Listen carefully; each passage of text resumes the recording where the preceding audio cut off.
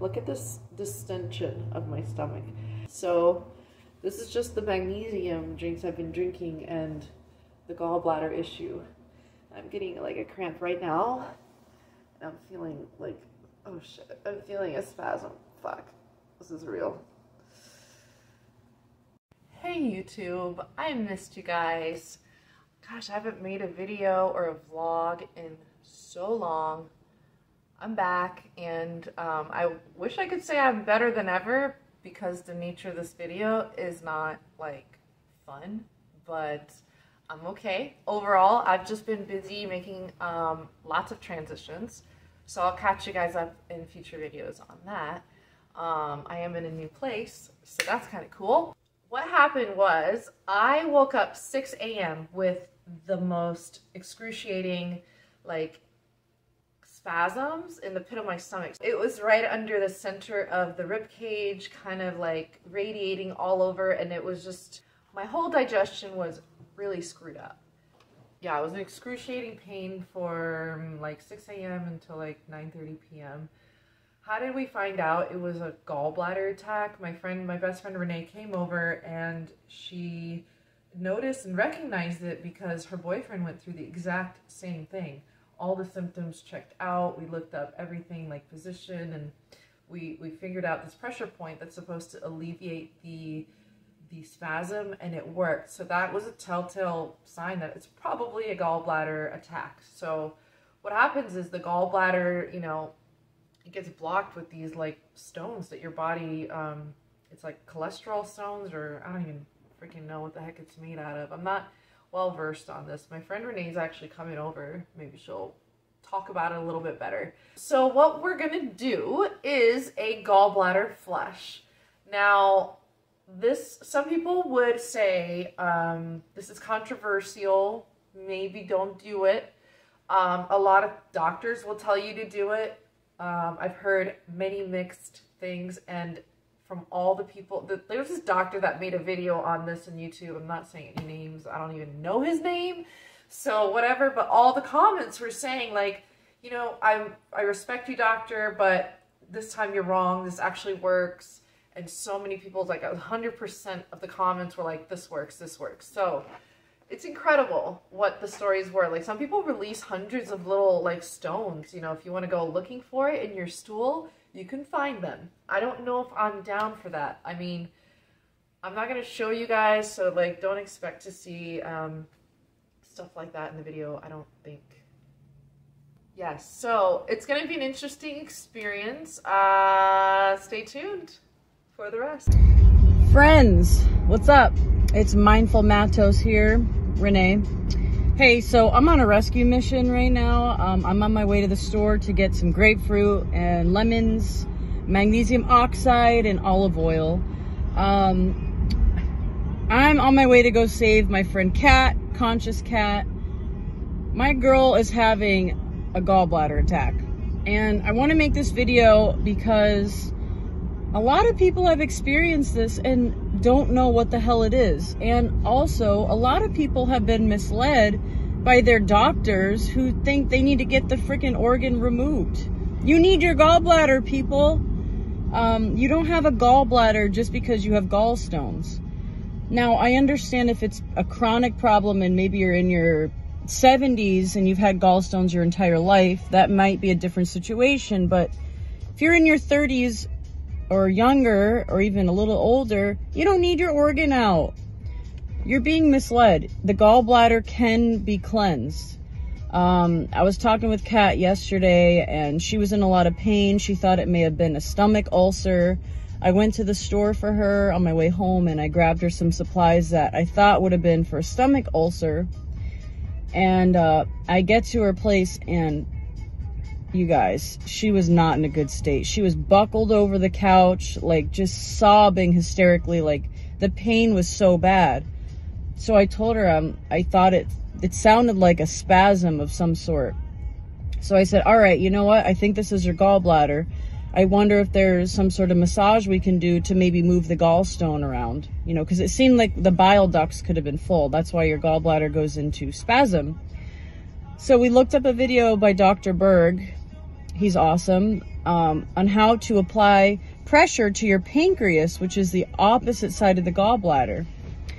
And sure enough, she did the massage, the pressure point on the pancreas, and the, the spasm in the gallbladder stopped. So that's how we knew it's a it's a gallbladder attack. Um, speaking of Dr. Berg, he doesn't fully agree with the cleanse that we're about to do because he thinks that doing this gallbladder flush flushes too much bile. However, we are supporting her gallbladder with bile salts immediately after, and we're only doing one gallbladder flush. Um, listen, you can listen to anyone's video on the internet and you may disagree or you may totally agree. That is totally okay. So, as much as I love and respect Dr. Berg, I disagree. I do think that if you're having a gallbladder attack, a gallbladder flush is beneficial as long as you support the gallbladder afterwards. Um, my boyfriend Ray has done a couple gallbladder flushes. They do work. He did expel gallstones. They were dark brown, almost black, like little rocks. Those were not bile stones, those were gallstones. So, anyway, um, I'm on my way to the store. I'm grabbing the supplies for Kat. Um, stay tuned till I get to her house and we'll tell you guys more. All right, fam, I just got the Kat's house. We got our grapefruit, lemons, we got our magnesium oxide powder. I'm just reading over the instructions again because I personally have not done this, but Ray has. Mm-hmm. And it looks like we're going to be taking our first dose of magnesium at 2 o'clock, mm-hmm. and Kat can no longer eat after 2 o'clock. All right, dude, so you got to eat like rice or oats for lunch. It's your last meal. For like, real? It's all you can eat for the rest When's of the, day. What's the next time I can eat? Tomorrow. What time? In the morning.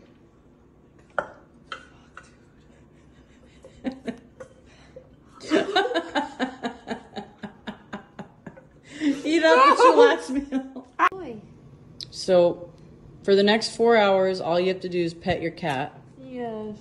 That's gonna be easy. Yep. Hi, Kisses. Oh.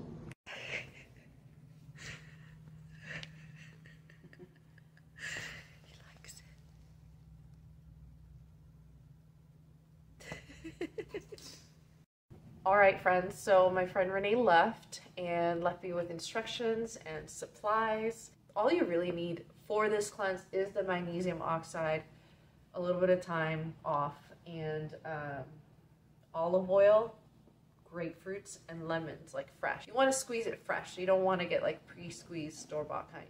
So yeah, that's it. So basically the procedure is simple. I've stopped eating fats for 24 hours. I've also had a meal of oatmeal and rice, so like separate like meals. Um, that basically what that does is just build the bile pressure. Um, so those were my two meals before 2 p.m. 2 p.m. is done eating, no more eating. At 2 p.m., I took my first dose of magnesium oxide. Then I will have another dose at 6 p.m. and again at 8 p.m. Then I have an alarm set for all of those, and then I have another alarm at 9:45 to put everything next to my bed for the evening, for the morning, because you're not want to get out of bed if possible, because movement is important for this procedure to work. You have to follow everything within like 10 minutes of each step. So like, like if it says it's at 8 o'clock, you don't want to, you know, go or stray within 10 minutes of that time schedule. It's important for this cleanse. So everything bedside. What I will do at 9.45 is prepare the olive oil juice and uh, mix it. So I'm not mixing it until 9.45. I'm to drink it at 10. And exactly as I drink it, I stand up, drink it, and then you sit, you lay down immediately on your right side, fetal position for 30 minutes. My alarm will go off again at 10.30, and then I have to flip on my left side and that's how you go to sleep. So in fetal position. So that's going to be interesting. So I'll have like a body pillow so I don't turn or, or, prevent that from happening. So the next morning, you have your alarm set at 6 a.m. And then what you do is you don't move, you don't get up. You have everything bedside ready. You drink your next dose of magnesium. So at 8 a.m., you stay in bed if you can, because you might go to the bathroom and evacuate. But at 8 a.m., you're going to take another dose. So that I think that's your last dose. Three cups or more of water. I mean, each time it tells you like how much water to drink and everything. But you still haven't eaten. So it's like you're fasting and drinking magnesium, basically. So at 8 a.m., you know, you're just chilling in bed. You lay in bed. I'll watch like YouTube or something. 10 a.m., you're good to go. You can get up. You can eat. So you're basically treating it like you're coming off of a fast. You're starting with juice fruits and raw things for that first day. So you go easy on your stuff. So I've ordered a supplement, which I will share once it gets here, and that will help to maintain the health of bile production.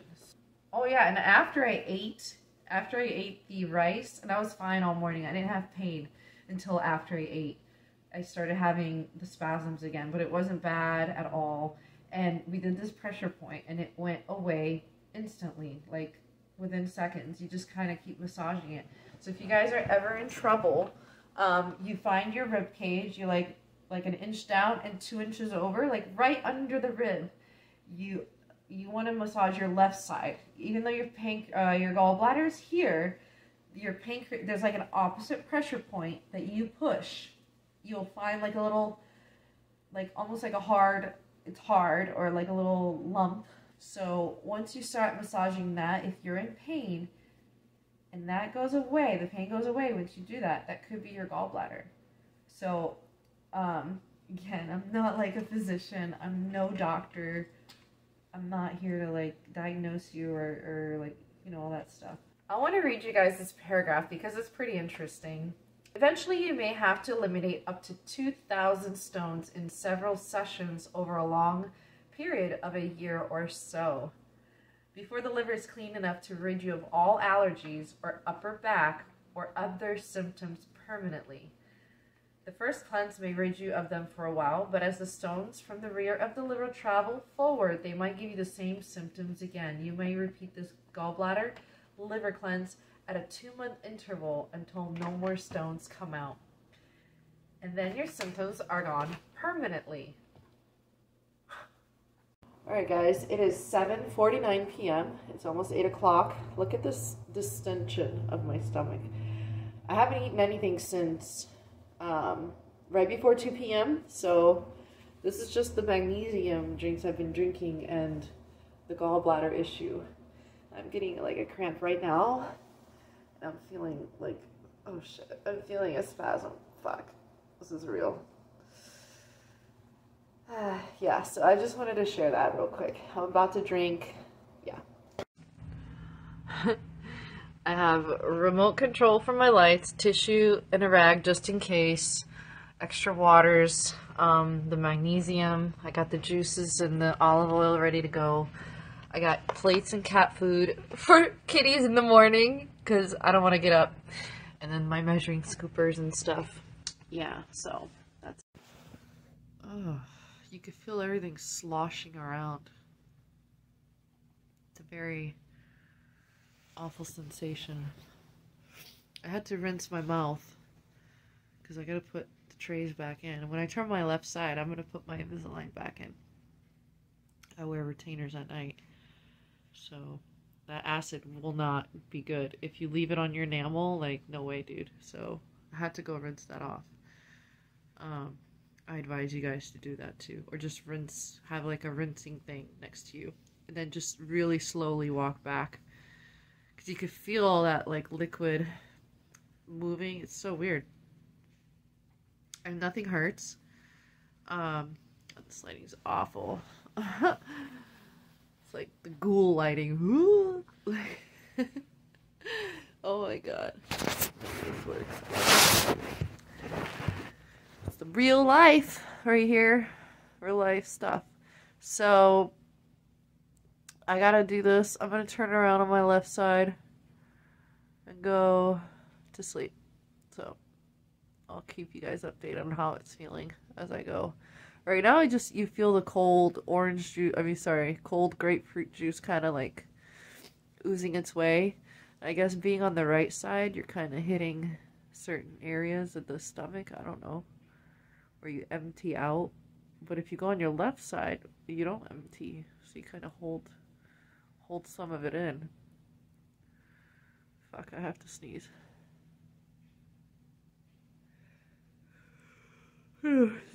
Just a yawn. I just hope I don't shit myself, because, like, everything back there feels really loose. Oh my god. It's, like, scary.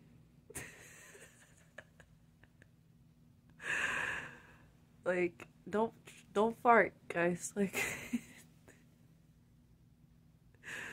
I can't believe I'm saying this. Yeah, don't fart. Don't think you have to fart. You don't. You won't fart. You're gonna shart. I didn't mess up. I didn't find out the hard way. Disclaimer. But just don't fart, okay?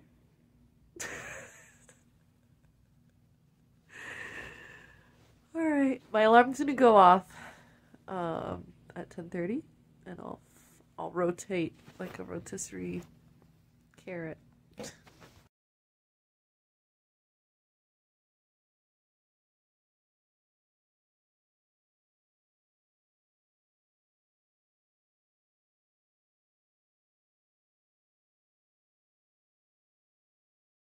Flush number two is upon us. I am starting flush number dos because for the last three days I've been having my gallbladder symptoms returning. Um, I had a flush scheduled a week later from today. So actually I want to do it sooner because I'm feeling the symptoms again magically. So, you know, they say do four flushes in four months. I think it's been three weeks or less uh, since my first flush.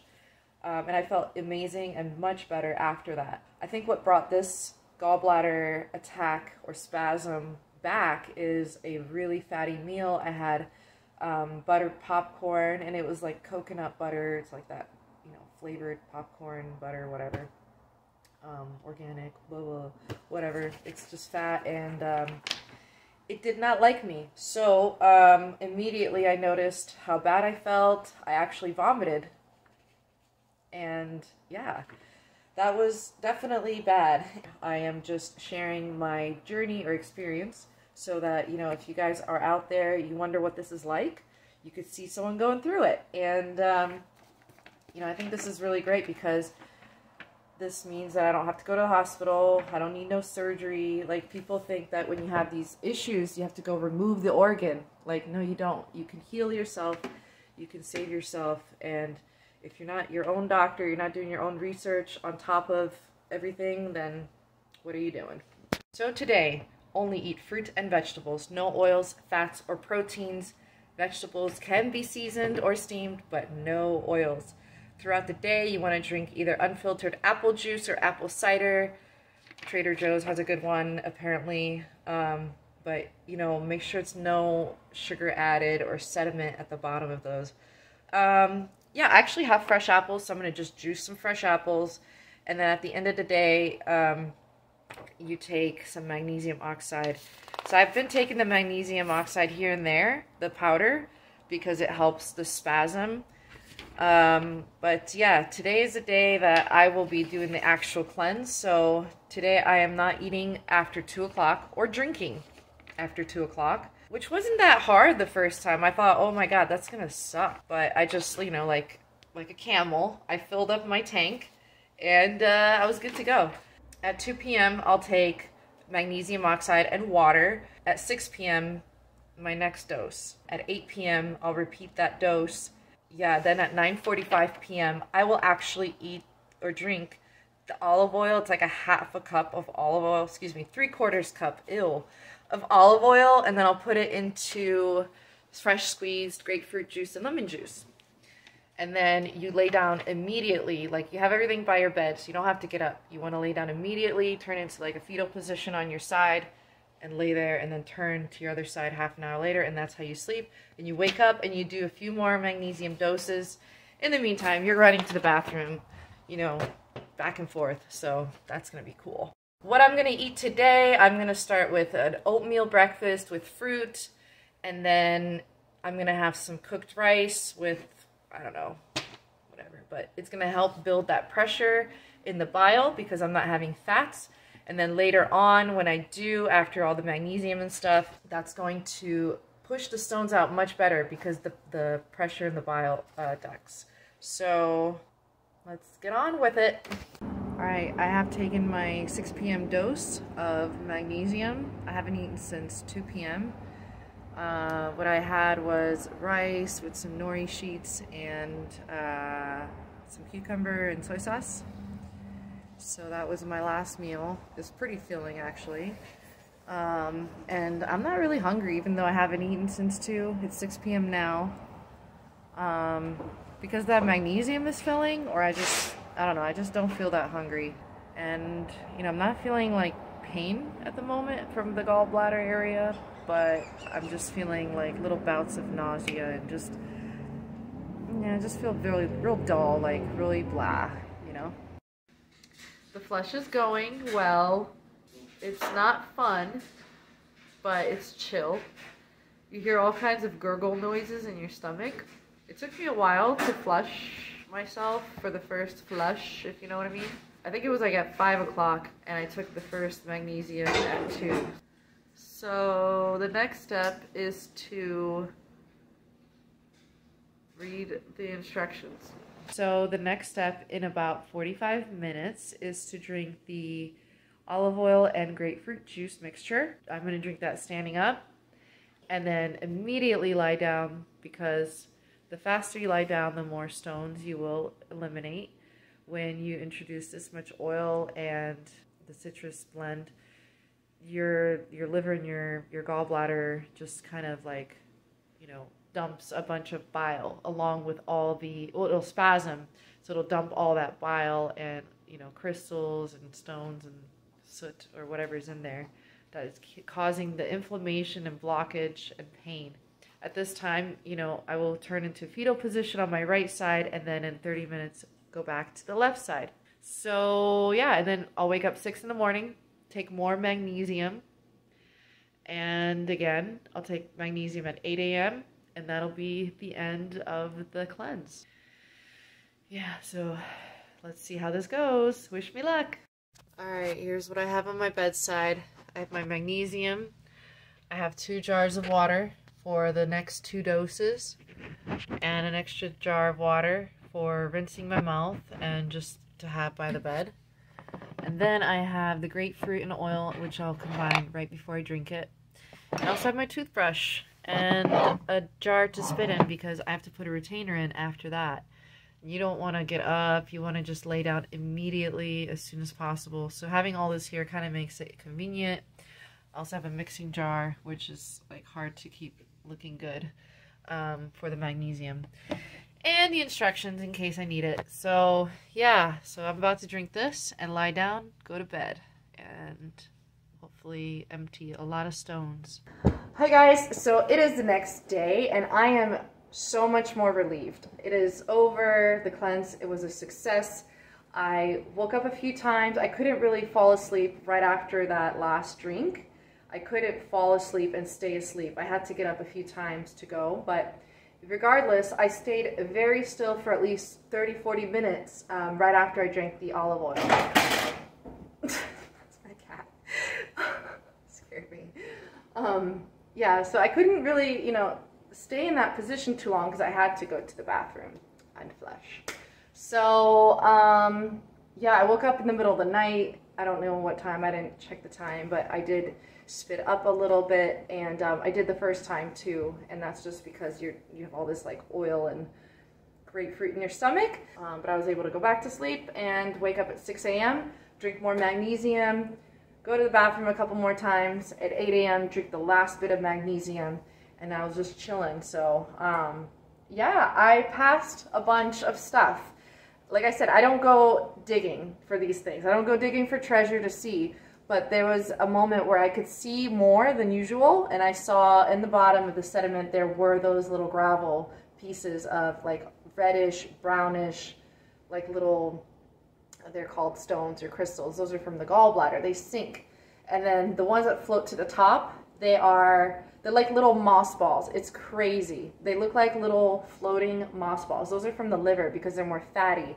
Um, And some people will say, oh, that's the olive oil. But it's if you drink, you can use coconut oil. You can put this to the test. You don't drink green colored oil. It's not going to show up like that. And there were various shades of green, so it can't be from the olive oil. But if you, if you don't want the color, you can try it with coconut oil. But so overall, this cleanse was a success. I will schedule another one in three weeks because I feel like the last cleanse definitely wasn't scheduled on time. Like I needed to do it a week earlier. As the stones come out, new ones push through.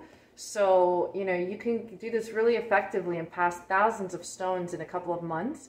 And they say when you do this, your permanent, your symptoms are permanently gone. So uh, whatever the symptoms are, you have so many symptoms due to gallbladder issues. It could be allergies. It could be, you know, sinus. It could be headaches. It could be all kinds of issues, um, skin rashes. Um, these things could dramatically improve by cleaning out your liver, cleaning out your gallbladder. It's like a tune-up for your car, you know? And I don't know if you guys can tell by my energy, I'm like so happy. And I'm also juice fasting today. So I'm going from gallbladder flush right into a solid food vacation today. So um, nothing but juices, fresh pressed today. And I'll probably have a light dinner we'll see how I feel. Maybe I'll carry on the juice fast. Uh, yeah, that's about it. I hope you guys found this somewhat helpful. You know, I would recommend you guys please do your research. If you're to cleanse yourself, if you're to try to heal yourself, do as much research as you can. Compare and contrast your cleanses maybe with another one just to see what they all have in common.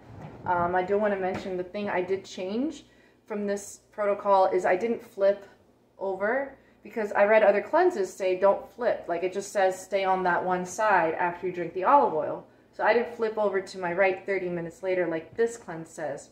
So, and as a result, I think it did better than my first cleanse. So as a result, I feel like this cleanse went better. Um, maybe I just did something else better too. I don't know, the timing could have been better or the fast prior to that could have been better or just laying on that side could have been better. I don't know, but it was just a more effective cleanse and I feel it. So I want to close this video with a big thank you to my friend Ray and Renee for showing me this gallbladder cleanse because without them, I wouldn't be feeling as normal and as good as I am today. So thank you guys so much. And I want to share this with you guys now through this video because I think it'll help so many other people too.